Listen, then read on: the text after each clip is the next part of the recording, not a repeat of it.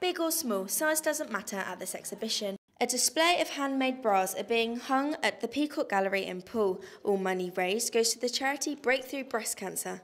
Exhibition organiser Kate Patterson was in disbelief when she found out she had the illness. Um, and also a bit scared, obviously. But, but the hardest thing is to actually tell your family. Um, it's just that word cancer.